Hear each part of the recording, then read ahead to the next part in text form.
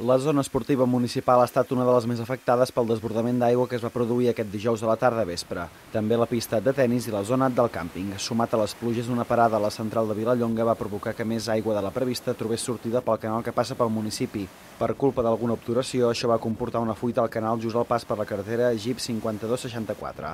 L'aigua va arrossegar també una gran quantitat de pedres i de fang, fent impracticable el pas dels vehicles per aquest punt. La carretera va quedar tallada durant dues hores aproximadament. S'hi van desplaçar quatre dotacions de bombers, a més de Mossos d'Esquadra, que van activar carreteres per ajudar en les tasques de neteja de la calçada i el seu entorn. Els bombers van haver de tancar la connexió d'aigua amb set cases per evitar que encara en baixés més. La situació es va normalitzar cap a les 10 de la nit. Des de l'Ajuntament de Vilallonga han confirmat que ja aquest matí han revisat com es troben les zones més afectades per la fuita i que la brigada municipal també està operativa. A l'hora vell d'emparcar les tasques de reparació i neteja per part de carreteres i l'empresa responsable del manteniment es puguin completar tan ràpid com sigui possible per retornar més aviat a la normalitat i valorar els desperfectes ocasionats.